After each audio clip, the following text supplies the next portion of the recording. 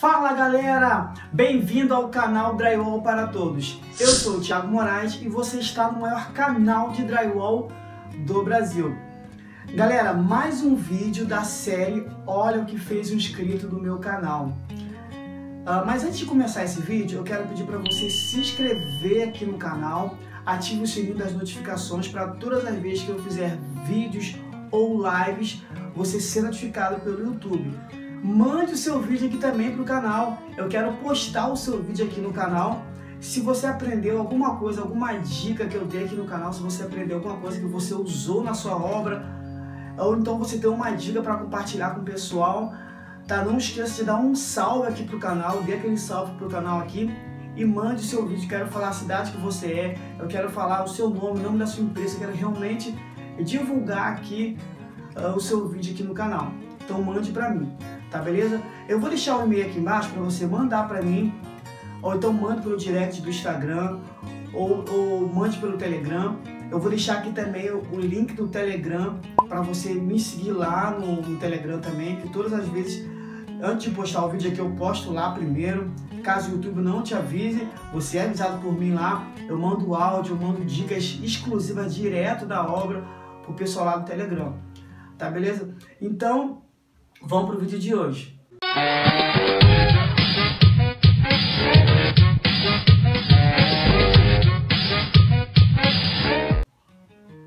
O vídeo de hoje é do Gessé Araújo dos Santos, da empresa Real Ambiense. Ele é aqui da minha terra, Rio de Janeiro, e ele estava fazendo uma obra muito grande, um salão de festa enorme.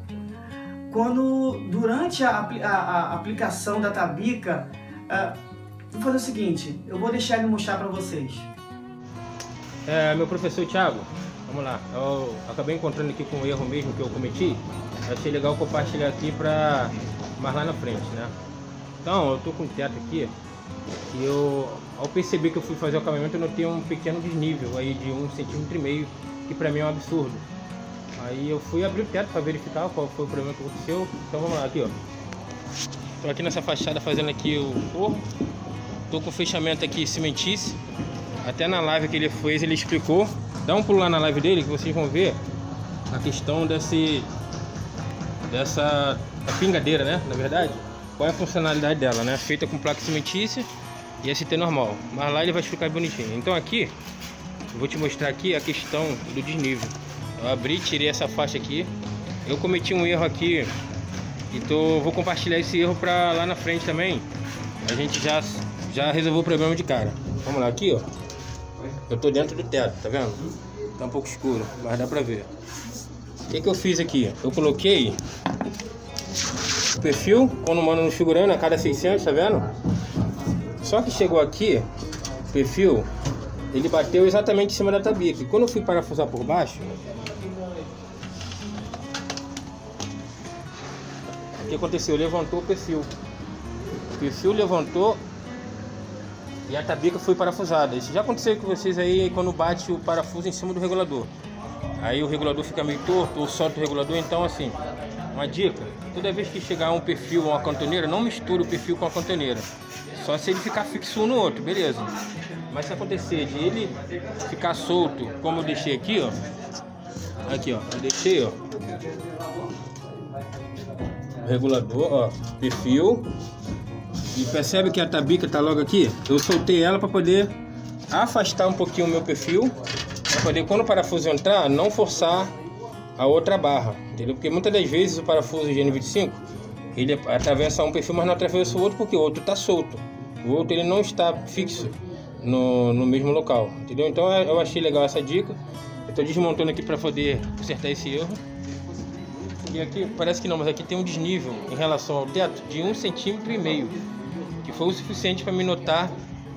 Se fosse um teto normal, eu nem notaria, mas eu notei por conta do, da pingadeira. A pingadeira ela tem exatamente um e meio. Então, quando chegou nessa ponta, ela ficou com meio somente, ou seja, não era nem um e meio, tem um centímetro de caimento que teve aqui. Foi por conta desse erro que eu acabei cometendo e creio que vou deixar essa dica aí para mim. Eu creio que eu não vou mais cometer esse erro para vocês também ficar ligados aí, valeu? Tamo junto. Ó, vamos para obra, hein? E aí, pessoal, o que você achou do vídeo? Você gostou da dica que o nosso amigo deu? Se você gostou da dica, deixa aquele like aqui uh, para o YouTube poder avisar para mais pessoas. Toda vez que você deixa o like, o YouTube entende que esse vídeo é importante e manda para mais pessoas. Tá bom? Não se esqueça de mandar o seu vídeo para mim para eu postar aqui no canal, hein? Se inscreva no canal, deixe o seu, o, o seu like aqui, ative o sininho das notificações. Isso aí e vamos para a obra.